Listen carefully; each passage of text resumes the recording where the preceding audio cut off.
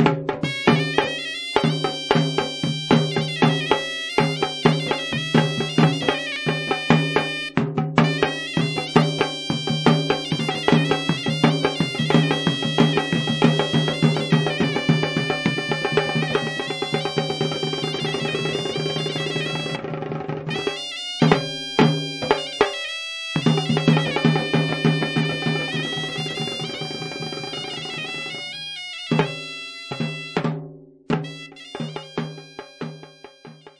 සමන්තා චක්කවාලේසු අත්‍රාගච්චන්තු දේවතා සද්ධම්මං මුනිරාජත්ස සුනන්තු සග්ග මොක්කදං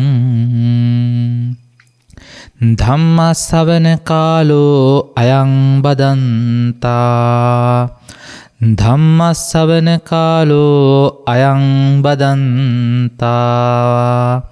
ධම්මස්සවන කාලෝ අයං බදන්තා. නමෝතස් භගවතු අරහතෝ සම්මා සම්බුද්දස්ස. නමෝතස් භගවතු අරහතෝ සම්මා සම්දුත්තස්ස නමෝතස් භගවතු අරහතෝ සම්මා සම්බුත්තස්ස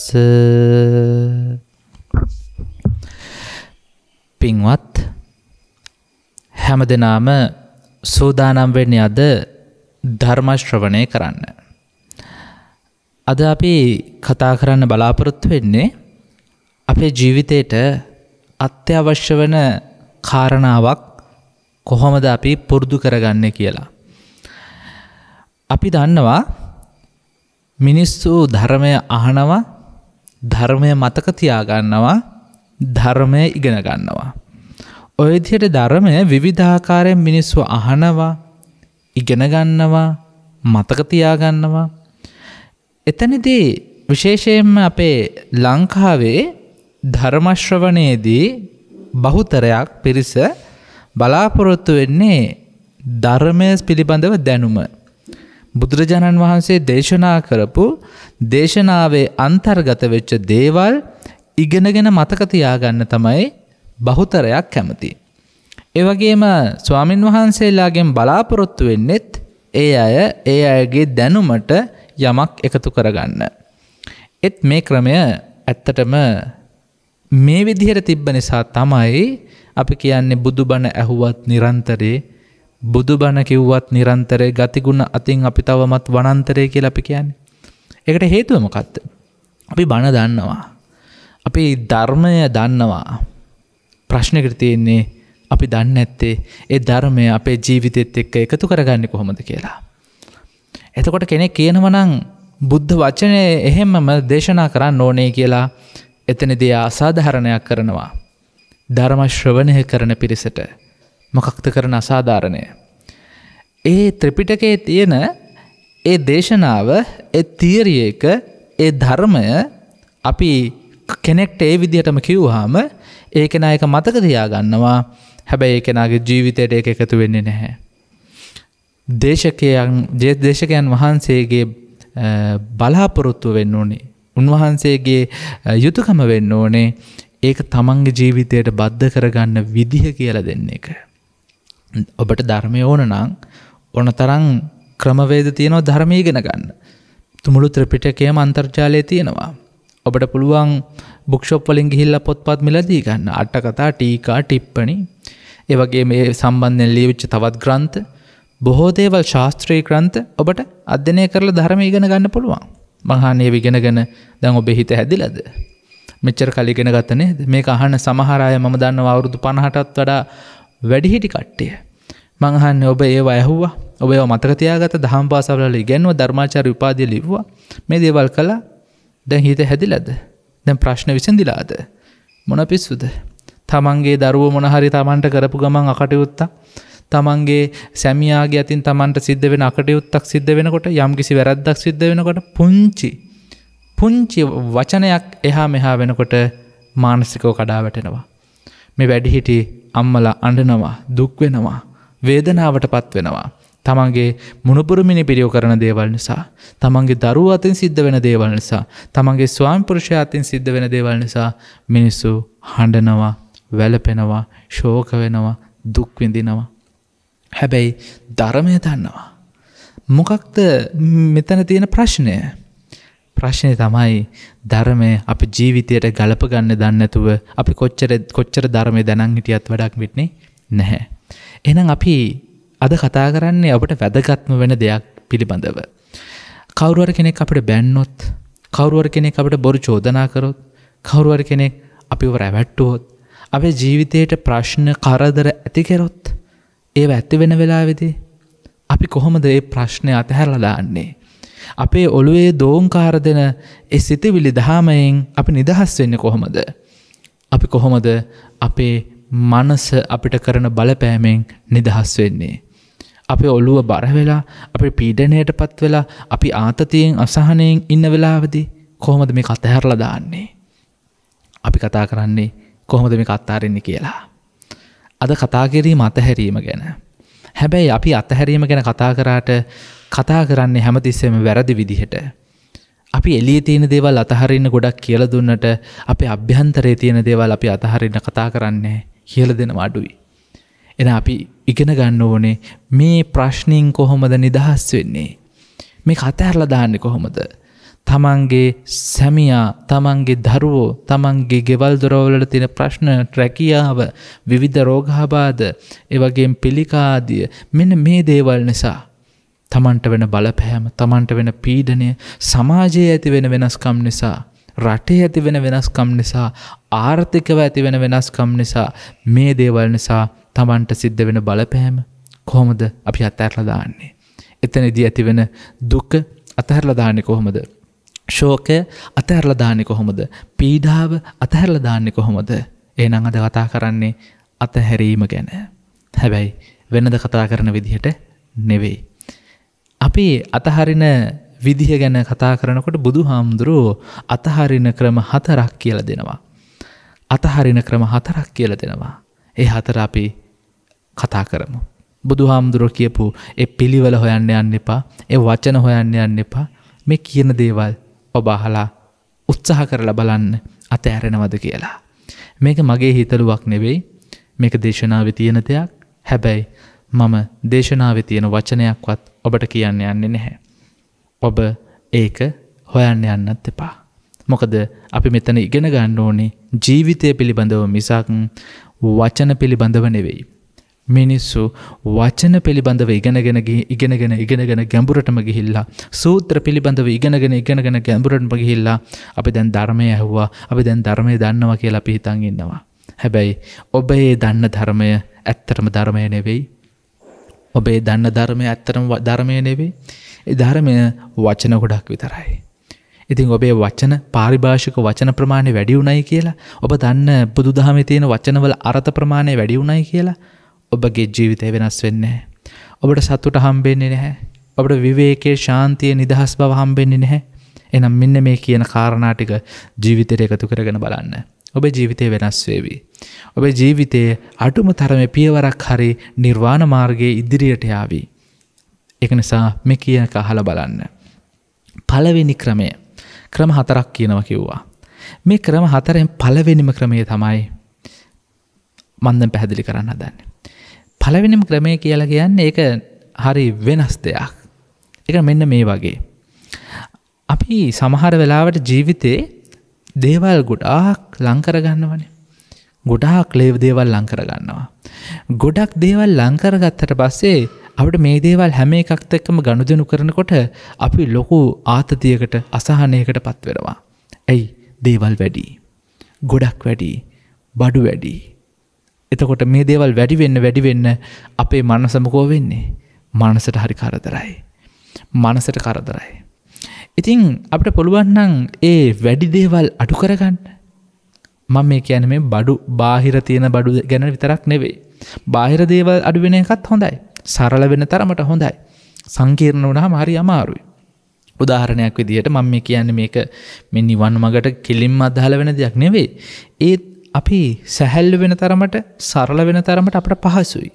දැවදාහරණයක් විදිහට අපි කොහේ හරි ගමනක් යනවගල හිතන්න අපි මොකක් හරි චාරිකාවක් හරි ට්‍රිප් එකක් හරි වන්දනා ගමනක් හරි යනවා ස්වාමින් වහන්සේලා.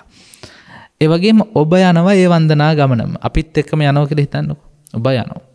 දැන් එතකොට ඔබ අරං යන දේවල් දවස් හතරකට කියල හිතන්න වන්දනා ගමන නැත්තං චාරිකාව අපිත් යන්න දවස් හතරකට මොනාද ගෙනියන්නේ. සාමාන්‍යයෙන් පුංචි අපේ අත්බෑගක තියෙන්නේ හාමුදුරුවන්ගේ ඔන්න ඔය අත්බෑගකේ දාගෙන යන්න පුළුවන් අපට ඕන දේවල්. දවස් හතරටම. අපි යනකොට යන්න එහෙම තමයි. මම දවස් හතර වැඩසටහන්වලට භාවන වැඩසටහන්වලට ඉස්සර වඩිනකොට හැමතැනටම පුංචි බෑගිකක් කරන්න යනවා. අත් බෑගි කරන්න යනවා. එක ඇතුළේ මොනත් තියෙන්නේ. අඳනයක් තියෙනවා තුවායක් තියෙනවා අවශ්‍ය මොනොත් සීතල පැත්තකට යනවන සිවුරක් තියෙනවා. බ්‍රශ්යක ටූත් පේස්ට එක ඒවගේම සබං කෑල්ල ඔය දෙවල්ටික තියෙනවා. දැයිටික දවස් හතරකට ඇතිද ඇති හොඳටම ඇති. අපි හිතන් ඉන්නවා දවස් සතරකට යනකොට බොහෝ දේවල් අරංයන්න ඕන කියලා. සමහරය අරං යන ලොකූ මල්ලක් මල්ලක් පොරෝල ඇඳුම් අරං යනවා.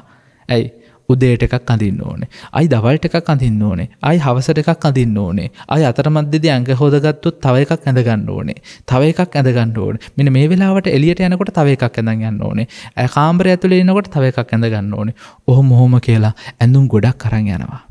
මං අහන ගෙදරිද්දිහෙම ඇන්දට අවුලක් නැහැ. ගමනක් යනකොට අපි එහෙම බඩු ගොඩක් අරංගියොත් අපි තුම හෝටන් තැන්නට අපි යනවා. හෝටන් තැන්න බලන්න ගිහිල්ලා ඔබේ බඩු මල්ලත් තරං යනව කියල හිතන්නකෝ. ඔබට සිද්ධ වෙනවා ඒ බඩු මල්ලත් අරගෙනම යන්න දැම්මකෝ වෙන්නේ. ඔබට අර කිලෝමිට හතරක් පහක් විතර අර මල්ල කරේතියාගෙන යන්න වෙනව නේද. එක තමයි ප්‍රශ්නය. මේ ජීවිතයට වෙලා තියෙන්ෙත් ඒකයි මම මේ කියන මේ එලිය අරංයන්න බඩු ප්‍රමාණය ගැන නෙවේ උදාහරණයක් කිව්වේ.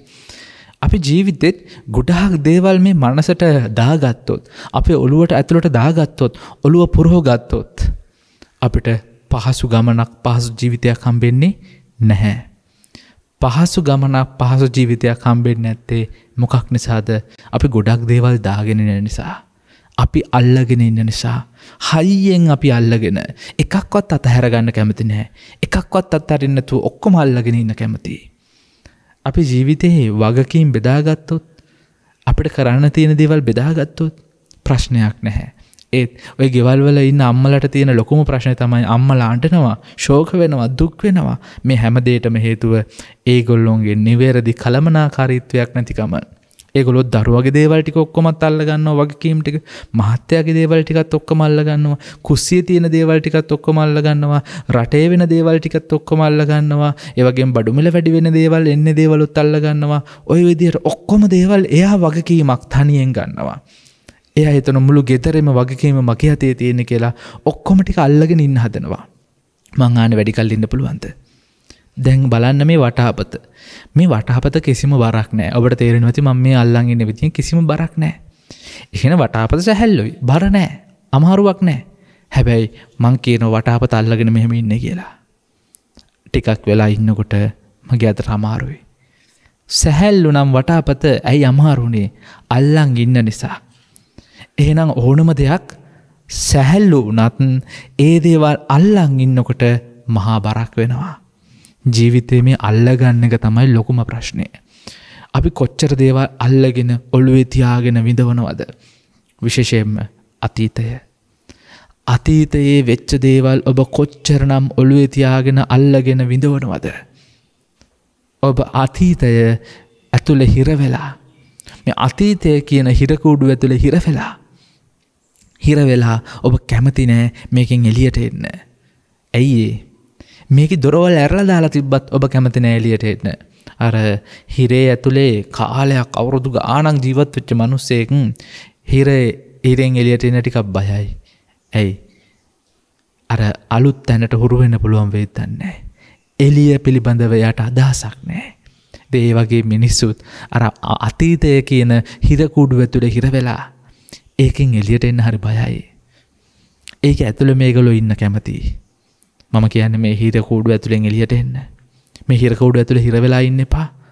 අතීතය ඔබගේ මොනවගේ වුණත් කමක් නෑ ඔබ කොච්චර වැරදි කරා කරපු කෙනෙක් වුණත් කමක් නෑ ප්‍රශ්නයක් නෑ. ද අංගුලිමාල මිනිමරුවෙක්නේ. ඒත් ඔය රහත් වනේ ඒවගේ මම්බ පාලි ගනිකාවයක්නේ ඉතින් ඔබ ඒ වගේ කෙනෙකුුණත් ප්‍රශ්නයක් නෑ ඔබේ අතීතයේ මොනතරම් ප්‍රශ්න තිබ්බත් කර කරපු දේවල් තිබ්බත් ඔබේ දෙවලගත් අතහැරලා දාන්න. ඒවා අල්ලංගින්න අල්ලංගින්න ඔබව ගිලෙනවා. ඔබව ආතතයට පත්වෙනවා අසහනයට පත්වෙනවා. අතීතයේ ඔබ අතින් සිදූ සියලු දේවල් අතහැරලදාන්න. එක ඉවරයි. දැන් අයි වෙනස් කරන්නත් බෑ. එදිවල් වෙලා ඉවරයි. ඒවා කාලයට ඉඩ හැරල දෙන්න කාලයට අතහැරලදාන්න. විසික් කලදාන්න.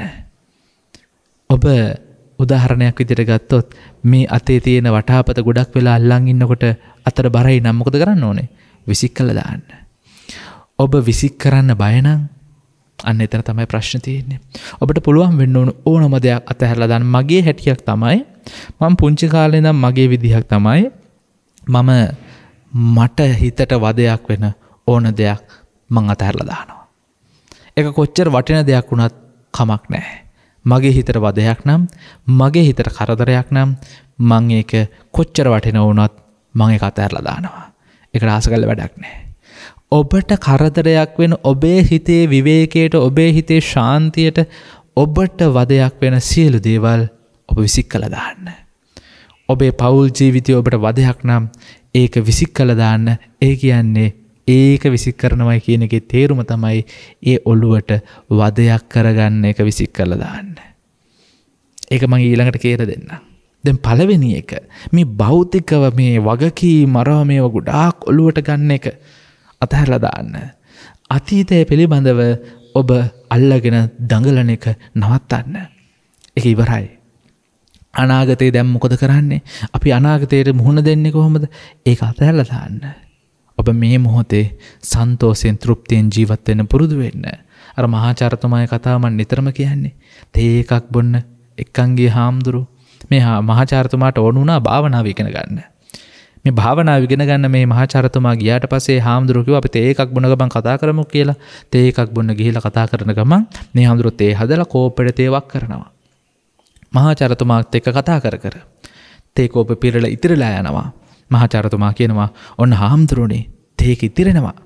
එතකොට හාමුදුරුව කියනවා ඔයාගේ ඔලු ගෙඩියත් ඔය වගේ තමයි.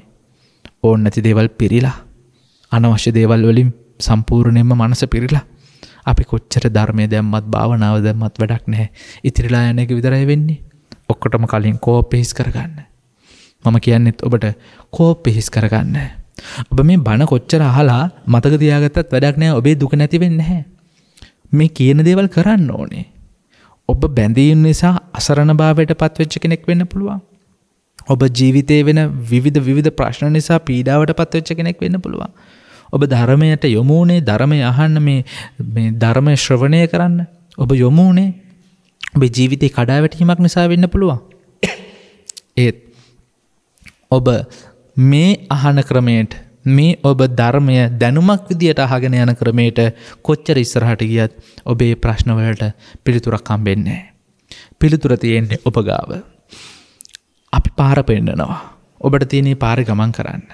ඒ පාර ගමන් කරන්න ඇතුව ඔබ ඒ පාර පිළිබඳව ඉගෙන ගන්න ගියොත් පාර පිළිබඳව සම්පූර්ණයෙන් දැනගෙනල්ලි පොත්තර ලියාගෙන ඉන්න ගියොත් එහෙම මංහානේ කවදාවත ඔබට පාරයන්න වෙලා විතර වේත නෑ වෙලා විතර වෙන්න. කාල ගෙවිල යනවා. හැමදෑම ධර්මය ඉගෙනගෙන මැරිල යනවා. ඉගෙනගෙන මැරලගේ හට වැඩක් නෑ ඔබ දන්න චුට්ට හරි ඒ ජීවිතයට එකතු කරගන්න. එක ගුරුවරය කෙටියලු මේ ගුරුවරයා අවුරුද්ධකට සැරයක් එක්කන් යනවා. මේ ශිෂ්‍යෝ ටිකව මොකක් හරි චාරිකාවක. ලස්සන චාරිකාවක ලස්සන පරිසරය බලන්න චාරිකාවක එක්කන් යනවා. හැබැයි මේ ගුරුවරයා මේ චාරිකාව එක්කන් අධනීතියක් දානවා. කිසිම කෙනෙක්ට එක වචනයක්වත් කියන්න බෑ. එක වචනයක්වත් කිව්වොත් මේ චාරිකාව යන එක ඒගොල්ලෝ සම්පූර්ණයෙන්ම ඒ කෙනාව අයින් කළ දානවා ඒ කෙනාව අයිකන් යන්න කවදාවත් ජීවිත කාලෙමක්කයින් යන්න එක වචන කරි කතාකරු. ඉතින් මේ නීතියත් එක්ක මේ ශිෂ්‍යෝටිකයි ගුරුවරයයි ගියාලු.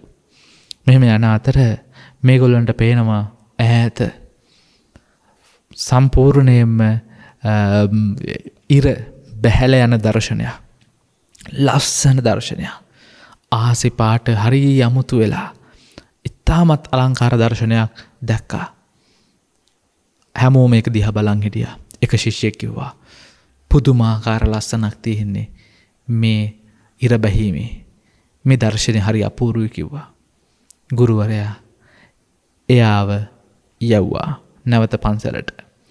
කිසිම දවසක යාව නැවත ඒ චාරිකාව එක්කන්ගේ නෑ.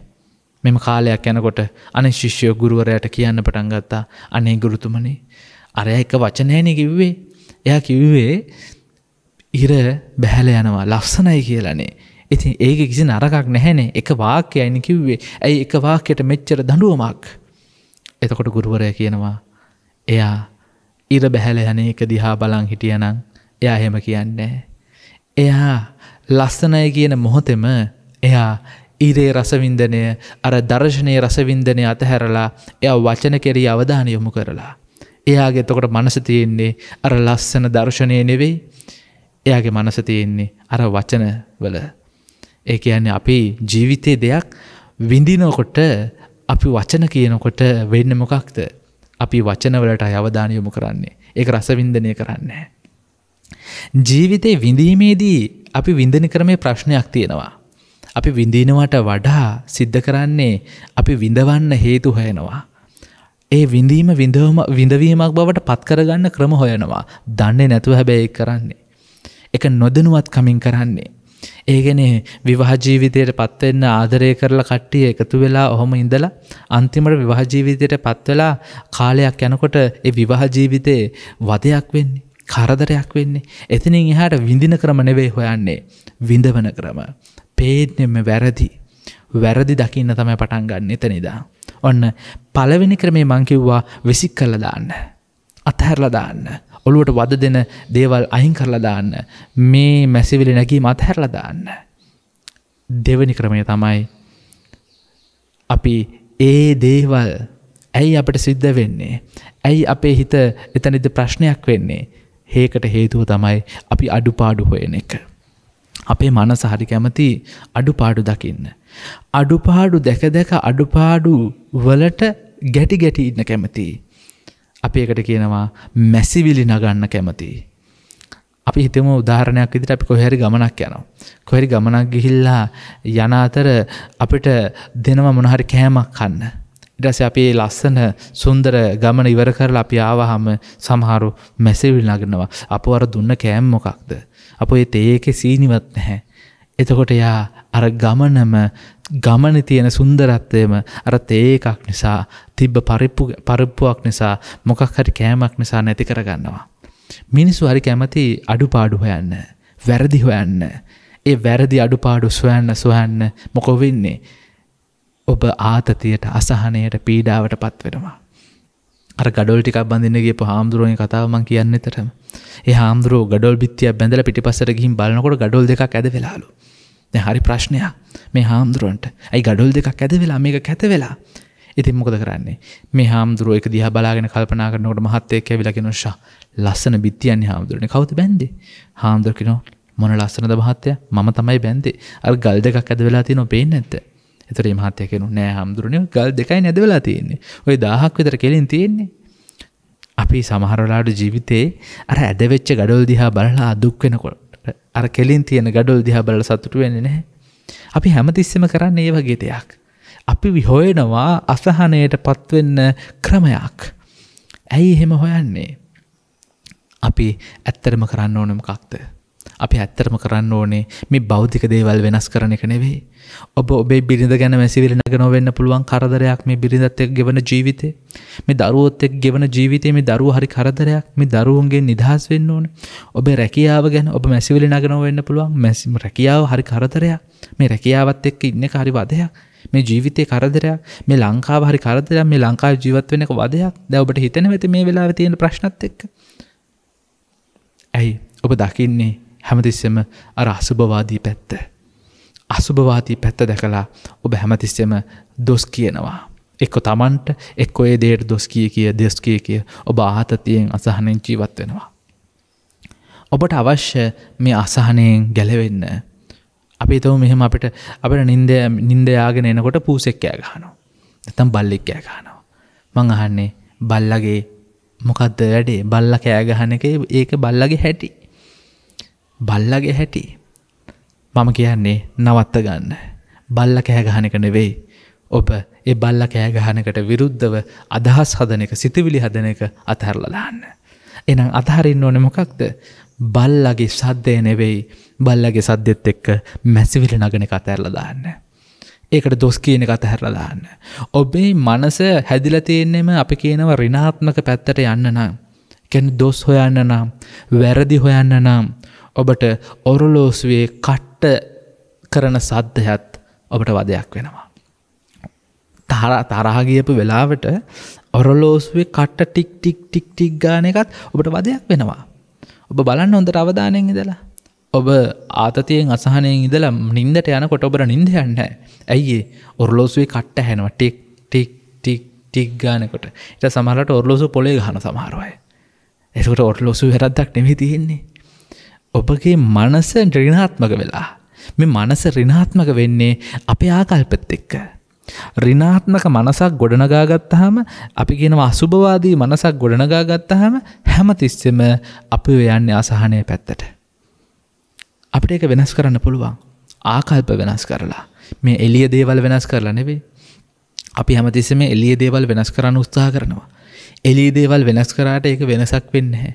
හිතන්න මෙහෙම ඔබ ගෙතර ඉන්න බැහැ කියලා ගෙදරඉන්න කරදරයක් කියලා අතහැරලා දාලා වෙන තැනකට යනවා. එතනට ගියත් ඔබට ඒ ප්‍රශ්නට එක එහෙම්මම තියෙනවා. ඇයි ඔබගේ ඒ මැසිවිලි නගන මනස එහෙම්ම මයි. ඔබගේ රිනාත්මක මනස එහෙම්ම මයි. එනම් ප්‍රශ්නය තියෙන්නේ ඔබේ මනසේ. ඔබේ ආකල්පේ ඔබේ සිතිවිලිවල එනම් ඒ ප්‍රශ්නයට විසඳුමක් හොයන්න ඕන දෙවනි කරමේ. ඒ ප්‍රශ්නයට විසඳු මොහයන්න කොහොමද ඔබේ ආකල්ප වෙනස් කරගන්න. අර බල්ලා මේ බල්ල කෑගහන එක වදයක් කරගන්න එපා. උදාහරණයක් විදියට හොඳ කතාවක් තියෙනවා බුදුරජාණන් වහන්සේ කියනවා එක මනුසෙක් කියන ඇහෙනවා බුදුහාමුදුරුවන්ට මේ ගස් එකට ඇතිල්ලෙනවා. හොළඟ හයියෙන් හමනවා. රැහැයියෝ කෑගහනවා. මේ සත්ත ටික හයියෙන් වහිනවා. මේ සත්ත ටික හරි වදයක් මට. මේ සත්ත මගේ මනසට පීඩාවක්. බුදුරජාණන් වහන්සේ දේශනා කරනව යහ පැත්තිඳගෙන හොළඟ හයියෙන් හමනවා. ගස් එකට ඇතිල්ලෙනවා. රැහැයියෝ කෑගානවා. මගේ හිතට සුන්දරත්වයක් දැනෙනවා. මගේ මනස නිහඬ වෙනවා තැම්පත් වෙනවා. බලන්න බුදුහාමුදුරුවන්ට ඒ ස්වභාවික සිද්ධි ටික හිතට ප්‍රසන්න හැඟීමක් ගේනකොට ඒ සිද්ධි ටිකම එක මනුෂ්‍යයෙක්ට අප්‍රසන්න හැඟීමක් ගේනවා මොකද ඒ මනුස්සය ඉන්න රිනාත්මක මනසක් ඇතුළේ. බුදුරජාණන් වහන්සේ හෙමනෑ බුදුරජාණන් වහන්සේගේ මනස උන්වහන්සේ පූර්ණත්වයට පත් කල්ලා. රිනාත්මකත් නෑ ධනාත්මකත් නෑ පූර්ණත්වයට පත්ත කරලා තෘප්තිමත්ව තියෙන්නේ. එතර උන්වහන්සට මේ බාහිරෙන් එන බලපෑම ලොක ප්‍රශ්නයක් වෙන්නේ නැහැ. උන්වහන්සේ ඒව හැම එකක්ම ගන්නේ උන්වහන්සේගේ තෘප්තිය නැතිවෙන විදිහරනෙවෙයි ආකල්පය වෙනස් කරගෙන. එනම් අපි ඇමතිස්සම බල පරිස්සං වෙන්න ඕනේ අපි දකින විදිහේ ප්‍රශ්නයක් තියෙන බව තේරුම් අරගෙන මේ ප්‍රශ්නයට විසඳුමක් හොයන විදිහට දකින්න ඕනේ.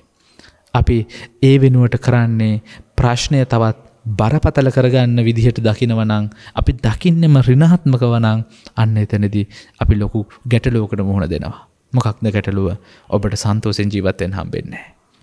ඔබට පේනෙම මේ පවුල කරදරයක් මේ බිරිඳක කරදරයක් මේ දරුව කරදරයක් මේ ගෙවල්දරවල් කරදරයක් මේ මට හැදිච්ච ලෙඩි කරදරයක් ඔබට නිදහස් වෙන්න ඕන් ඔබට අයින් වෙන්න ඕන ඔබ ඉන්න එනයා හිරේ කියලා ඔබට හිතෙන්නේ.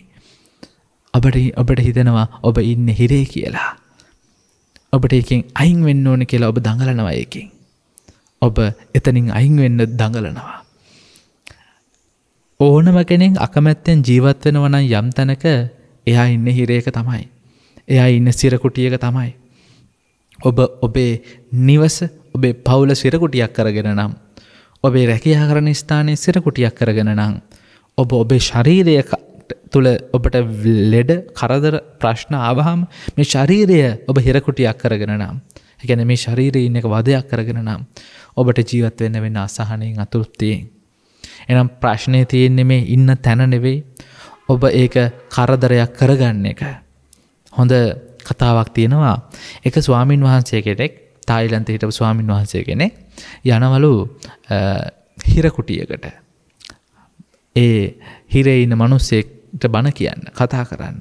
එතකොට මේ පිට රට ඉන්න බටහිර රටක ජීවත්වෙන මනුස්සෙක්ගේ හිරකුටියකට තම යන්න බටහිර රටක හිරකුටියකට තම යන්න. එතකොට මේ හාමුදුරුවොත් එක මේ හාම් මේ මනුස්සය කතා කරනකොට මේ හාමුදුරුවන්ට ගෙන් විස්තර හනවලු ඔබහන්සේ කොහොම ජීවිතේ? ඔබහන්සේ පන්සලේ ඉන්න එක ඔබහන්සේගේ ආරන්න ඉන්න එක ඔබහන්සේට හොඳයිද? මේ මනුස්සක මේ හාමුදුරුවගෙන ඔවු. මොනාද ඔබහන්සලා එහෙ කරන්න? ඔබහන්ස කියට නැකටින්න එතකොට මේ හාමුදුරුවකෙන අපි උදේ හතරට අතරාමාට විතර නැකිටිනවා එතකොට මේ මනුසයගෙන හතරට අතරාමාට විතර නැකිටනවා ඒ කියන්නේ අපි හිරේවත් ඔච්චර වේලසන නැගටින්න ෑන කරදරයක් නැත්ත රැස මේ හාමුදුරුගෙන අපි පෙහෙම් පින්ට පාත යනවා. දාන වලදන්න මේ වෙලාවට මේ ලැබෙන දෙයක් අපි වලඳනවා මෙන්න මේ විදියට භාවනා කරනවා. මෙන්න මේ විදියට තමයි අපි ජීවත් වෙන්න කියලා උන්වහන්සේගේ දෙන චර්යාව කියනවා. කිවට පස මේ මනුස්සය කියනවා ඔහොම් බලනකොට නම් අපි සැපෙන් ඉන්නේ හාමුදුරුවනේ. අපිට ඔය ප්‍රශ්න මොකක් වත් නෑනේ. එතකොට මේ මෙච්චර සැප සම්පත් තියෙන පහසුකන් තියෙන මනුස්සයා හිරේ ඉන්න එක කරදරයක් කරන්න ඉන්නේ ඇයි. එයාට ඒ හිරේ ඉන්න එක කැමති නැති නිසා එක රුජියක් නැති නිසා. ඒක නිසා එයාට පේන්නේ එක හිරයක් විදියට. අර ස්වාමින් වහන්සේට අර හිරේ තරන් සැපක් නැති වනත් උන්වහන්සේ ඒ ජීවිතය පිළිබඳව තෘප්තියෙන් ඉන්නේ. එතකොට උන්වහන්සට ඒ ජීවිතය අතෘප්තියක් නෑ හිරයක් නෙවෙයි. එනම් මේ ප්‍රශ්න තියෙන්නේ ඔබ වටපිටාව තියෙන දේවල් නෙවෙයි කළ දැන් තේරෙනවද. මොකක් හරි පැලක මැටි ගාපු පැලක කටුමිටි කටුමැටි ගාපු පැලක පොළොව ගොම ගාපු පැලක ජීවත්වෙන මනුස්සේ සන්තෝසයෙන් ජීවත් වෙනවනම් ඒ මනුස්සය ඉන්න තැන පිළිබඳව සතුටුනං ඒ මනුස්සය එයා ගත කරන ජීවිතය ගැන සතුරුනං එයාට ඒක හිරකුටියක් නෙවෙයි ඒක එයාට රජමැදුරක්. කවුරරි මනුස්සේ සැප සම්පත්තියන ස්වයම් පූල්ල එකක් තියෙන ටයිල් අල්ලපු ඒසී කරපු මොකරි කාමරයක මොකරි හොඳ ගෙදරක ජීවත්වෙනවා හැබැයි ඉන්න හරි ආතතියෙන් අසහනයෙන් එයා පීඩාවෙන් එය අකමැත්තින් ජීවත්වෙන්නේ. එනම් එයාගේ නිවස කෙච්චර කොච්චර සැප සම්පත්තිය නමුණාට සැප පහසු වනාට එය ජීවත් වෙන්න හිරකුටියක මාලිකාවක නෙවෙයි. එනම් මාලිගාව තීරණය වෙන්න මේ බාහිරේ ඉන්න පරිසරෙත් එක්ක නෙවෙයි. එනම් ඔබ කෙනෙක් හොඳ වාහනය කියනෝ කියලා ඔබ හිතලා ඔබ හිතනවනං එයා සතුටෙන් ඉන්න සැපෙන් ඉන්න කියලා ඔබ වරත්තගෙන. හොඳ වාහනයක ගිය පල් පලියට හොඳ ඇඳුම් හැඳ පලියට හොඳ තැන්වලින් කාපු පලියට හොඳ හොඳ ඇඳුම් ඇඳව පලියට විවිධ ඉහළ ගනේ ඉහළ ප්‍රබල පිනිස්සු ආශ්‍රයකරු පලි පලියට ඒ අයි සතුටින් ඉන්නවගේ ඔබ හිතනවනං ඔබ වරද්දගෙන. එම කියන්න බෑ. බාහිරෙන් ඒ අයි ගත කරන ජීවිතය කොච්චර අපි කියනව ලක්සරය එකක් වුණත්. කොච්චර අපි කියනවා ඒකට මේ යුසස් ගනේ ජීවිතයක් වුණත් එයා ඒක සන්තෝසයෙන් නෙවේ වෙන්න පුළුවන් ගත කරන්නේ. මට එහෙම මිනිස් ඕන තරම් හම්බලා තියෙනවා. එහෙම දරුවෝ ඕන තරම් හම්බලා තියෙනවා. අපි කතා කරලා තියෙනවා ඒ දරුවොත් එක්ක. ඒ වගේ නිවස්වල ඒ වගේ ජීවිත ගත කරන ඒ දරුවෝ හැබැයි සන්තෝෂයෙන් නෙවෙයි ඉන්නේ. ඉන්නේ හැමදෙස්සෙම ආතතියෙන් අසහනේ. එයා ඊට වඩා අර අනිත් ළමයින්ගේ ජීවිත පිළිබඳව සතුටින් ඉන්නව කියලා හිතනවා. ඒ ළමය හිතනවා ඊට වඩා දුප්පත් ළමයි සන්තෝසෙන් ඉන්නව කියලා. එදේ දුප්පත් ළමයි හිතනවා අර ළමයි සන්තෝසෙන් ඉන්නවා කියලා බලන්නකොට කවුරුත් සන්තෝසෙන් වෙන්නේ. මම කියන්නේ ඔබගේ බාහිරදේ මත ඔබේ සතුට රඳා පවත්ව ගන්න එපා. ඔබට ලැබෙන ආදායමත ඔබ ජීවත් වෙන්න. ඔබට ලැබෙන්න මොනවගේ ආදායමක්ද ඒකට අනුව ඔබ කන්න බොන්න ඒ දේවල් කරන්න කිසි ප්‍රශ්නයක් නෑ. හැබැයි ඔබ ඒ බාහිරේ මත රඳා පවත්ව ගන්න මනසක් ඇති කරගන්න එපා. ඔබ බාහිරේත් එක්ක ගණුදනු කරද්දි පරිස්සං වෙන්න. ඔබේ ආකල්පය හදාගන්න තෘප්තියෙන් ඉන්න මට්ටමට තෘප්තිමත් වෙන විදිහට ඔබ ඒ ආකල්පය හදාගන්න එන්න දෙවනි ක්‍රමේ. පළවෙනි ක්‍රමේ තමයි මොකක්ද අතහැරල දාන්න විසික් කරල දාන්න. අයින් කරල දාන්න. දෙවෙනි එක තමයි ආකල්ප වෙනස් කරගන්න. මේ ක්‍රම කෝප් ගොඩක් කියනවා ගුරු ක්‍රම හතරක් කියනවා ඔබට කැමති ක්‍රමයක් ඔබේ ජීවිතය එකතු කරගන්න පුළුවන්. තොර තුන්වෙනි ක්‍රමය. අපි තුන්වෙනි ක්‍රමේ තමයි හරියට තේරුම් ගන්න ඕන ප්‍රධානම ක්‍රමය. ඒ තමයි බලාපොරොත්තුවක් නොමැතිව දෙන්න. බලාපොරොත්තුවක් නොමැතිව දෙන්න කිව්වහම මේ දානේ මහා සංඝරත්නය වඩම්මල දානයක් දෙන්න කියලා කියන්නේ නෑ නෑ. එහෙම එකක් නෙවෙයි. ඔබ නැවත බලාපොරොත්තුවක් නැතුව තමන්ගේ පැත්තෙන් කරන්න ඕන දේ කරන්න. ඔබ ආදරය දක්වන්න සෙනහසු දක්වන්න දයාව දක්වන්න නැවත ආදරයක් සෙනහසක් දයාවක් බලාපොරොත්තුවක් නැතුව. ඔබ ඒදේ බලාපොරොත්තු වෙන වෙන මොහොතක් පාසා ඔබට අසහනයෙන් ආතතියෙන් ඉන්න වේවි. ඔබේ දරුව ඔබට සලකාවි කියල හිතනවන ඔබ වරත්තගෙන. සලකන්න පුළුවන් නැති වෙන්න පුළුවන්. එත් ඔබගේ පැත්තෙන් කරන්න පුළුවන් දේවල් කරන්න. ඔබේ බිරිඳ ඔබට ඔබ හිතන විදිට ආදරය නැති වෙන්න පුළුවන් ගමක් නෑ ඔබේ පැත්තෙන් ඔබට කරන්න පුළුවන් දේ කරන්න. ඔබට ඔබගේ පැත්තෙන් ඔබට දෙන්න පුළුවන් උපරමය ඔබ දෙන්න. තමන්ගේ පැත්තෙන් දෙන්න පුළුවන් උපරිමය දෙන්න හැබැයි නැවත බලාපොරොත්තු වෙන්න යන්න එපා. ඒක නැවත හිතන්න යන්න පල් ලැබේ කියලා. මම යනව ඉස්සර සරුංගල් යවන්න වෙලේ මෙම වෙලේ සරුංගල් ලැබන්න යනකොට මී හරක් රංචුවක් ඉන්නවා. එද මේ මී හරක් එක මං හිනාවෙන ම පුංචි කල පොතකත් කියවල තිබ මේ හාමුදුරුවන්ගේ කතාවක්. එද ඒකත් එක මංමොකද කරේ මත් ඉන්න හිනාවෙනවා ඇති මී හරක් එක හිනාවෙනවා. මේ මීහරකත් එක්ක හිනා වෙනකොට මේ එක හිමිහරකෙක් මාත් එක්ක හිනා වෙන්නේ මං කොච්චරේ මීහරක එක්ක හිනා වුණත් ඒ මීහරක් මාත් එක්ක හිනා වෙන්නේ ඉතින් මම දැනගත්ත මීහරක් නැවත හිනා වෙන්නේ කියලා ඉතින් ඒ වගේ තමයි දැම් මම ඕනම කෙනෙක් එක්ක හිනා වෙනවා. මගේ විදිහක් තමයි මම මට හම්බෙන මම දකින ඕනම කෙනෙක් එක්ක හිනා වෙනවා. නැවත හිනාවුණොත් හොඳන මනුස්සෙක්. හිනවුන් නැත්ත මීහරකෙක්.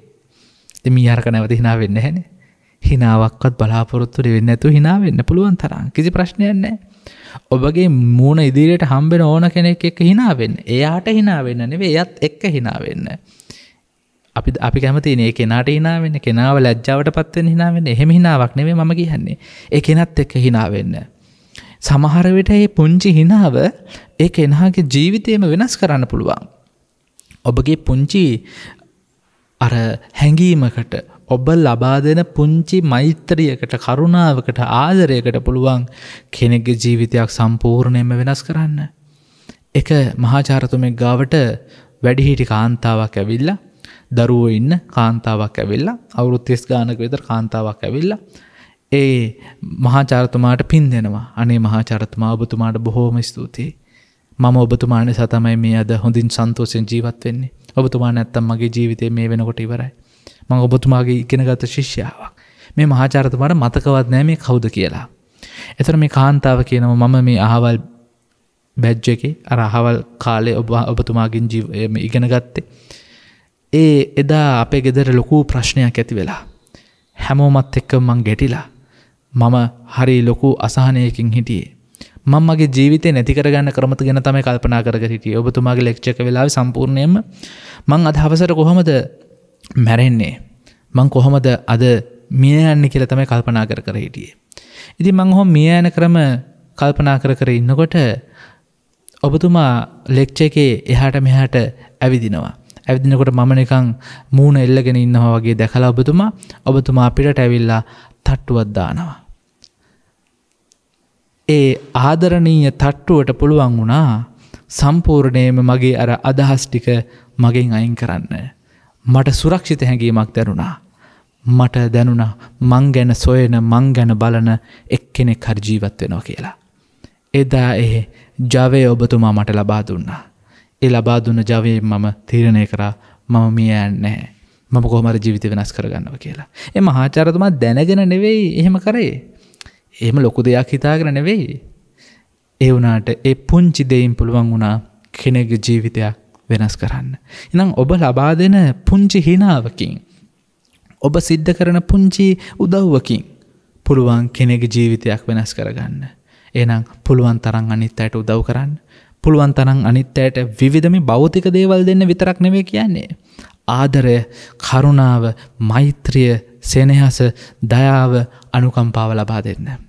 ඔබ ඉදිරියට ඇවිල් ඔබට බයින මනුස්සයට පෙරලා බයිනයන්න එපා. ඒ මනුස්සයට පුළුවන් තරම් කරුණාව දක්වන්න. ඒක තමයි බලාපොරොත්තුවක් නැතිව දෙන්න කියන්නේ. අක්කෝදේන ජිනීකෝදං. ක්‍රෝධ කරන කෙනාව ජයගන්නලු ක්‍රෝධ නොකර ඉඳලා. අසාදුන් සාදුනා ජිනේ අයහපත ජයගන්නලු යහපත කරලා. ජිනේ කදරියන් දානේන මසුරුකම ජයගන්නලු දීලා එකට මසුරු තැනැත්තාට දෙන්න ගිහිල්ලා. මසුරුකම ජයගන්න දීලා සච්චේ නලිකවාදනං අසත්‍ය ජයගන්න සත්‍යයෙන්. බලන්න බුදුරජාණන් වහන්සේ පැහැදිලි කරට ක්‍රමේ එන අපට මේ ක්‍රමේ තේරුම් අරගන් තනං හරියට මේ සමාජ මීට වඩා වෙනස් කරන්න පුළුවන්. සමාජ ඉන්න අසරණ වෙච්ච දුකෙන් ඉන්න ආතතියෙන් ඉන්න මිනිස්සුන්ට සහ සරණක් වෙන්න පුළුවන්. පිහිටක් වෙන්න පුළුවන්. ඔබාතේ රාජකාරියක් තියෙනවා. ඔබාතේ යුතුකමක් තියෙනවා. ඔබටත් ඒක හොඳයි අනිත් අයටත් ඔබේ වටපිටාවන්න හැටත් හොඳයි. බලාපොරොත්තුවක් නොමැතිව එයට ආදරය දක්වන්න කරුණාව දක්වන්න දයාව දක්වන්න අනුකම්පාව දක්වන්න උදව් කරන්න. නැවත හැබැයි පෙරලා බලාපොරොත්තු වෙන්න එපා. බලාපොරොත්තුවීම ඔබට දුකක් ගේනවා. පෙරලා නැවත බලාපොරොත්තුව ඔබට වේදනාවක් දුකක් ශෝකයක් ගේනවා ඒ ඇගේ පැත්තෙන් යම් කිසි යුතුකමක් ෂ්ට වනත් කමක් නෑ ඉශ්න වනත් කමක් නෑ බැරිවෙලා හරි ඔබ දරුව හැදුවොත් දරුව අපට සලකාවි කියල හිතලා ඔබට මොකද වෙන්නේ ඔබ බැරිවෙල හර ගිහිල්ල මහළු බනකොට දැම්මොත් එහෙම ඔබට කියන වෙන සඳනාවත් කමක් නැතේ රත්තරම්පුතේ හිරුණාවත් කමක් නැතේ රත්තරම්පුතේ ඕන දුකක් ඉහිරිය හැකි මහළු ජීවිතේ ඒත් පුතේ නුමනාවත් දුක වැඩි හිතේ ඔන්න ඕක තමයි කියන්න වෙන්න ඉති බලන්න එතනම කොච්චර ලොකු අසරණ භාවයක්ද. හඳ නාවත් කමක් නැහැලු. හම හැම දෑම හඳ එනවා නාවත් කමක් නෑලු. හිරු නහවත් කමක් නෑලු. හිර ඇම ඉර ඇම දැහැමෙනවා. හැබැයි අර පුතා ඒවි කෙල හිතනවා. ආකල්ප වෙලස් කරගන්න හඳනං හැම දෑමෙනව කොච්චර හොඳයිද. ඉරනම් කැම දෑවෙනව කොච්චර හොඳයි අරුණං නාවත් කමක් නෑ. අන්න හිත හදාගන්න වෙනස් කරගන්න. බලාපොරත්තුවෙන් යන්න එපා කිසි කෙනෙක් මත රඳා පවත්ව ගන්න යන්න එපා ඔබේ ජීවිතේ. ඔබේ මනස කිසි කෙනෙක් මත රඳා පවත්ව ගන්න යන්න එපා මට අරය නැතුව ජීවත් වෙන්න බෑ මට මෙයා නැතුව ජීවත් වෙන්න ජීවිතයක් ගැන හිතන්නවත් බෑ. එහෙම හදාගන්න එපා ඔබ ආදරය දක්වන්න කරුණාව දක්වන්න ලෙංගතුකම දක්වන්න කමක් නෑ. හැබැයි කිසි කෙනෙක් මත රඳා පවත්වන්න යන්න එපා ඔබේ ජීවිතය මොකද ඔබ විනාස වේවි ඔබ දුකට පත්වේවි. හතරවෙනි ක්‍රමය. හතරවෙනි ක්‍රමය තමයි නොඇලෙන මනසක් හදාගන්න එක. ඒ හරියට නික නන්ස්ටික් පෑන් එකක් වගේ. එතන නන්ස්ටික් පැහැන් එකට මොනව දැම්මත් ඇලෙන්නේ ෑනේ නන්ස්ටික් පෑන එක කියලකිව නිලුම් කොලයක් වහම සමහරලාමයි නිලුම් කොල දැකල නැතිවෙන්න පුළුවන් නිලුම් කොලේ වතුර බිඳුවත් දැම්හම රැඳෙන්නේ වගේ තමයි නන්ස්ටික් පෑනකට මොහරි දැම්හම ඇලෙන් නෙත්නෑ අන්න ඒ වගේ මනසක් ගොඩනගාගන්න. ඔබේ මනස නොයලැන මනසක් බවට පත් කරගන්න. ඒකන්න මොන දේවල් දාවත් කමක් නෑ අපි කැන මේ කනෙන් අහල මේ කනෙන් පිට කරන්න කියලා. මිනිස්සු කියන දේවල් ඕනාට වැඩි ඔලුවට ගන්න එපා. මොකොද ඒ දේවල් මිනිස්සු එහෙම කියන්නේ එයාගේ අස් ආතතියට අසානයට එයාගේ තියෙන පීඩාවට වෙන්න පුළුවන් සමලාට යායක හිතල කිව නැති වෙන්න පුළුවන් අපි ඒ ගොලුවට දාගට විඳවන්න ගියොත් දැම් මේ මොහොතේ රටේ තියෙන තත්ත්වත් එක්ක ස්වාමින් වහන්සේලාට බයින අවස්ථා තියෙනවා. ඉතින් ඒ වැඩිය ගණන් ගන්න එපා. ඒව ගණන් ගන්න ගියොත් එහෙම අපිට අසහනයෙන් ආතතියෙන් ජීවත් වෙන්න වේවි. මොකොද ඒ බයින්නේ අකමැත්තටවත් වෙන ප්‍රශ්නයක් නිසාවත් නෙවේ ඒ බයින පීඩාවට. මිනිස්සුන් පීඩාවට බයිනකොට මිනිස්සුන්ගේ දුකට බයිනකොට අපි හැමතිස්සෙම නිහඬ වෙන්න ඕනේ. නිහඬ වෙලා ආදරය අනුකම්පාව දයාව දක්වන්න ඕනේ. එහනම් නොඇලෙන මනසක් ගොඩනගා ගන්න කියන්නේ එකයි ඔබගේ මනස ගුණු බාස්කට්ට එකක් කරගන්න.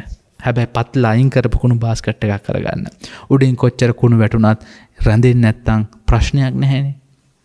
දැන් අපිට මිනිස්සු කතා කරලා දුක් ගැනවිලි කියනකොට ඒ ජී ඒගොළඟ ජීවිතවල ප්‍රශ්න තියෙනකොට ප්‍රශ්න ගැන කියනකොට අපට තේරන ඒ මනුස්සය ගුඩාක් දුකින් ඉන්න ශෝකෙන් ඉන්න කියලා. හැබැයි මම ඒක මගේ මනසට දාගෙන විඳවන්න ගියෝ තනයා දුකින් ඉන්න කියලා මාත්දුගෙන් ඉන්න ගියොත් මං ඒ පිළිබඳව ලොකෝට ශෝක වෙන්න ගියොත් මට තව කෙනෙක්ට පිහිට වෙන්න බැරි වෙනවා. මොකද ඒ කෙනගේ දුකාහලා මත් දුකට පත්තල තොට තව කෙනෙක් එකක් අහන්න බැරි වෙනවන. මම ශක්තිමත් වෙන්න ඕනේ. එකන මම ඒ ඔලුවට දා ගන්නරකයි මං ඒ ඇහවා උත්තරයක් දුන්න. එතනින් එහට ඔලුවට ගන්නරකයි එනම් ජීවිතයේ කිසිම දෙයක් අනවශ්‍ය ලෙස ඔලුවට ගන්න යන්න එපා. අහලා තැරලදාන්න දැකලා තැරලදාන්න කමක් නෑ කේලං අහන්න යන්න එපා කිසි කෙනෙක්ගේ. ඇ කමක් නෑ අන්න එහෙ මට්ට මේ ජීවත්තයට අර බෝරුවගේ පිටේ යනවලු දවසක් නෝනයි මහත්තය නැගලා. මිනිස්සු බයිනවලු. අන්න අර බලන්නකො. මිනිහයි ගෑනි දෙන්නම් පුරුවග පිටේ නැකළ බූරුවට දෙන වදයා ඊට පස්ස ඔහොම යනකොට ටික දුරක් මේ මනුස්්‍යය කල්පනා කරලු ඕවනේ ඇත්තනේ. අප මං බහින්නම් කියලා මහත්‍ය බැස්සවලු. මහත්‍ය බැහල නෝන දැන් උඩරින් නැගල යනවලු. ටික දුරක් යනකොට මිනිසු බයිනවලු. අර බලනෝක අර පිනිිය මේ පයින් යනව මේ ගෑන උඩින් තියල. මේ ගෑනු මනුස්්‍යයත් පුදුම ගෑනත්තම මහත්‍යව. පයින් යවල මේ මනුස්්‍ය මෙහෙම යනව කියලා කිව්ව. එ මහත්‍යය නැකල නෝන බැස්සරෝ එහිට පස්සේ ටික දුරක් යනකොට මිනිසු බයිනවල අර බල බල බලන්නකො මර මනුස්සය ඒ මනුස්සය බූරුව පිට යන අර ගෑන් මනුස්සයෝ පයින් යවල කියල් මිනිසු බයිනවල්. දෙන්නම වැහලා බූරුව අතින් අල්ලගෙන යනවලු. එතකට මිනිසු හිනාවෙනවලු අර බලනොකර මෝඩයෝ දෙන්න බූරුව කතේ තියාගෙන බූරුවක් ළඟතියාගෙන පහින් යනවා බූරුවක පිට යන්නතුව කියල මිනිසු බයිනවා කොහොමුණත් බයිනවා. එනම් මොකද කරන්න ඕනේ? ගණන් ගණ්ඩ එපා. හැමතිස්සෙම අපි ජීවිතයේ අපේ හිත හදාගන්න ඕන අපේ හිත නෙළුම් කොලයක් වගේ හදාගන්න ඕනේ. නොඇලෙන විදිහට එන දේවල් වැටෙන්නතිව ඒවා නැවත ගලාගෙන යන්න. මේ කනෙන් හල මේ කනෙන් පිට කරන්න. අර එක මනුස්සෙක් බුදුරජාණන් වහන්සේට බැනගෙන බැනගෙන යන හොඳටම. බුදුරජාණන් වහන්සේ අහනවා ඔබගේ ගෙදර යම් කිසි කෙනෙක්ට ආහාරයට කෑමට කතා කරලා ඒකෙන ආවෙ නැත්තං ඔබ කෑමටික විසික් කරනවද නෑ ඒ කෑමටික මං කනව කිව්වා. අපි ප්‍රාඩ පාවිච්චි කරනවා කිව්වා. එතකොට මේ මනු සේහම කිවම් බුදු හාමුදුරුව කියනවා ඔබගේ බැනුම් ටිකත් මම ආහාරයට ගන්න. ඔබම පා ඔබම ආහාරයට ගන්න කියලා කිව්වා. ඒ කියන්නේ අපි ඒවා අනුන්ගේව කන්න ගියොත්න අනුන්ගේව ඔලුවට දාගෙන විඳවන්න ගියොත්න ප්‍රශ්න වෙන්නේ. ඔබ හැමතිස්සම ඔබ වටාතියා ගන්න ශීල්ඩ එකක් ආරක්ෂක වලල්ලක් මොකක්ද වලල්ල ගණන් ගන්න එපා. ලොකුවට ගන්න එපා. පුංචි දේවල් එ පුංචි විදියට තියෙන් අරන්න. පුංචි ළමෙක් ඔබට බැන්නොත් ඔබට මොනහර කිවොත් ඔබ ඒක ලොකොට ඔලුවට ගන්න එපා. මොකද ළම එම හිතරනවේ කියන්නේ. ඒ වගේ තමයි අනිත් අයත්. මිනිස්සු බනින්නේ මිනිස්සු දොස් කියන්නේ පිනිස්සු අපහස කරනවනං අපහස කරන්නේ ඒ අයකි තියෙන පීඩනයට. එයාගේ තියෙන ප්‍රශ්නයක් නිසා. එනම් මොකද කරන්න ඕන? ඒ අයට ආදරය කරුණාව දයාව දක්වන්න. ඒ අයට අවශ්‍ය වෙන ඒ ගුණ ධර්මටික ලබා දෙන්න ඔබ ඒ වොල්ලුවට දාගෙන විඳවන්න යන්න එපා. ඔන්න ක්‍රම හතර පළවෙනියක විසික් කල දාන්න. අතහැරල දාන්න. ඒකයන් අයින් කරලා දාන්න. දෙවැනි ක්‍රමය තමයි මොකක්ද. දෙවැනි ක්‍රමේද අපි කිව්වේ ආකල්ප වෙනස් කරගන්න. ඒ දිහා දකින විදිිය වෙනස් කරගන්න. තුන්වැනි ක්‍රමය තමයි බලාපොරොත්තු නොමැතිව ලබා දෙන්න. බලාපොරොත්තු නොමැතිව දෙන්න. හතරවෙනි ක්‍රමේ තමයි නොයලෙන මනසක් හදාගන්න. නෙලුම් කොලයක් වගේ මනසක් හදාගන්න ගොඩනගා ගන්න. ඔබට පුළුවන්නම් මේ විදිහට ඔබේ මනස ඔබේ ආකල්පය හදාගන්න මෙන්න මේ කාරණටක ජීවිතයට එකතු කරගන්න. ඔබට පුළුවන් වේවි අසහනය අත් ආතතිය දුරු කරලා ඔබේ මනස තෘප්තිය කරාරැගෙන යන්න. නිවරවාණය කරාරැඟට යන්න මේ නිවන් මඟ වඩන්න අවශ්‍ය වෙන ප්‍රධාන කාරණ තුනක් ඉතාමත් සරලා ආකාරයෙන් තමයි පැහැදිලි කරේ. ඉතින් ඔබේ ජීවිතයට මේක එකතු කරගන්න. අත්හැරීම පුරුදු වෙන්න දුකෙන් ශෝකයෙන් පීඩාවෙන් අසහනයෙන් නිකන් ජීවත් වෙන්න යන්න එපා. ඔබ එහෙම ජීවත් වෙලා මිය ගියත් ඔබ සන්තෝසෙන් ඉඳලා මිය ගියත් ඔබේ ජීවිතය තුළ ඔබ ගත කරපු විදිහයි වැදගත් වෙන්නේ. ඔබ මිය යන විදිහන මේ වැදගත් වෙන්නේ. ඔබ ජීවිතය කොච්චර දුකෙන් හිටියද? ඔබ කොච්චර ජීවිතය සත්තෝසෙන් හිටියද? අන්න එකයි වැදගත් වෙන්නේ. එනම් අතුරුප්තියෙන් මේ යන කෙනෙක් වෙන්න එපා. තෘප්තියෙන් ඉඳලා මිය යන කෙනෙක් වෙන්න. මොකද අපි හැමෝම මිය යනවා. නත්ති ජාතස්ස අමරණං. එනම් මේ ඉන්න කාලය තුළ අතෘප්තියෙන් අසහනයෙන් ඉන්නතුව තෘප්තියෙන් සහනයෙන් ජීවත් වෙන මේ ක්‍රමවේදය ජීවිතට එකතු කරගෙන හැමදනාට මුතුම් මොනිවනින් සැනසෙන්න්නට මේ ධර්මශ්‍රවණයත් හේතුවේවා වාසනා වේවා කියලපි ප්‍රාර්ථනා කරනවා. අද ධර්මදේශනාවේ දායකත්වය මහනුවර අංකුඹර වැල්ගාලේ රාජසිංහ නිවසේ පදිංචි දරුවන් සිරු දෙනා විසින් දායකත්වය දරනවා. අරමුණ පිරිමිළමයි හතක් සහ ගෑනු ළමයි හයක් ඔක්කොම කටිය දහතුනක් මෙලවට දායාද කර ඉතා නිරෝග ජීවිතයක් ගත කර හදිසියේ අප අතරින් වියෝවී දෙදස් විසි දෙකේ තුනයි විසියක දෙනට අවුරුදු එකසිය දෙකක් මාස හතරක් සපෙරුණු සීලවති රාජසිංහ මෑණියන්ට මෙම ධර්මදානය ලබන්නා වූ සියලු කුසල් මෑණියන්ගේ ඉදිරි භවයකට එක් වී නිවන්සුව ලබා ගැනීමට හේතු වාසනාවේවා කියල ප්‍රාර්ථනා කරනවා. එවගේ අපාතරින් බෙන්වී අවුරුද්ධහයකට අධිකාලයක් ගෙවී ඇති ආදරණය පියාණන්ට සහ වැඩිමහ සහෝදරයට මේ ධර්මදානය ලබන්නාව කුසල් ඔවුන්ගේ බව ගමනට එක්වී නිවන්සුව ලැබේවා කියලා ප්‍රාර්ථනා කරනවා. ඒ වගේ මෑණියන්ගේ එක් පුතෙකු වන සිරිනිවාස අබේසූරිය සහ ඔහුගේ ආදරණය බිරිඳ ඥානා බේසූරිය යන දෙපළ විසින් මෑණියන්ට කළ සියලු කුසල බලයෙන් ඔවුන්ට නිදුක් නීරෝගි සූපත් භාවය ලැබී චිරජීවනය සැලසේවා කියල ප්‍රාර්ථනා කරනවා. ධර්මදේශනයට වැඩම කළ ගෞරුණිය ස්වාමින් වහන්සේ ඇතුළු අනෙකුත් දේශකයන් වහන්සේලාටත් උතුම් මුනිවනින් සැනසීමට ලැබේවාය කියලා ප්‍රාර්ථනා කරනවා. ඒ නම් සඳහන් කරගත් කරපු ජන්මාන්තරගත වෙච ඥාතීන්ට ඔබ අප නමින් ජන්මාන්තරගත වෙච් ඥාතීන්ට මේ පින් අනුමෝදන් කරවන මෝදම් වේවා බවගාම් ජීවිත හපත් වේවා උතුම් මුනිවනින් සැනසීමට හැම දෙනාටම මේ පින්කමත් හේතු වේවා වාසනා වේවා කියලා අපි ප්‍රාර්ථනා කරනවා. ඒවගේම සිළු දෙවියෝ මේ පින් අනුමෝදම් වේවා දෙවියන්ගේ රැකවරණය හැමදනාට පලබා දෙත්වා දෙවියෝත් පැතුව බෝධියකින් උතුම් මුනිවනින් සැනසී මුදා කරගනිත්වා කියල සාදු කියල ප්‍රාර්ථනා කරගන්න. ආකාසට්ටාච බුම්මට්ටා දේවානාගා මහිද්දිකා පුඤ්ඤන්තං අනුමෝදිත්වා චිරන් රක්ඛන්තු ලෝක සාසනං චිරන් රක්ඛන්තු දේශනං චිරන් රක්ඛන්තු මම් පරන්ති. ඒ වගේම ප්‍රඥානාලිකාවේ ගෞරවනීය හම්දුරන් වහන්සේ ප්‍රමුඛ කාර්යමණ්ඩල හැම දෙනාටම ඔබ අප සිරු දෙනාටම ධර්ම දානය සිද්ධ කරපු හැම දෙනාටම නිරෝගී සුව ලැබේවා දීර්ඝායුෂ ලැබේවා උතුම් මොනිවනින් සැනසීමට මේ කුසල පුණ්‍ය ශක්තිය හේතු වාසනා වේවා. කියලා අපි ප්‍රාර්ථනා කරනවා. සබ්බිහිතියෝ විවජ්ජන්තු සබ්බරෝගෝ විනස්සතු මාතේ භවත්වන්තරායෝ සුඛේ දීඝායුකෝ භව. භවතු සබ්බ මංගලං රක්칸තු සබ්බ දේවතා සබ්බ බුද්ධානුභාවේන සබ්බ ධම්මානුභාවේන සබ්බ සංඝානුභාවේන සදා සොත්ති භවන්තුතේ තුන්රුවන් සතු අනන්ත ගුණ බලෙන් යහපතක්ම වේවා. द्वेषक्षयो निभाम्